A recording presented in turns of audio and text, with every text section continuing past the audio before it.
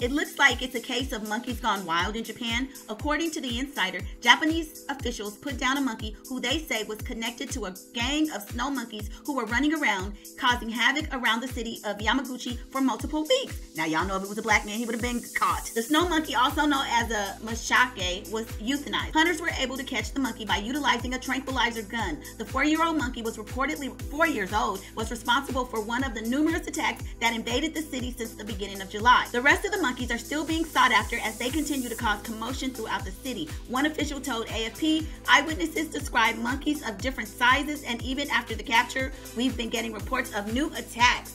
These monkeys are not afraid, baby. The Associated Press reported that 58 people have been left injured after being assaulted by the monkeys. Luckily, no one has been severely wounded.